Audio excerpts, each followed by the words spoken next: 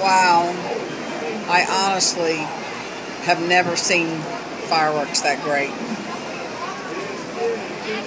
It's fabulous.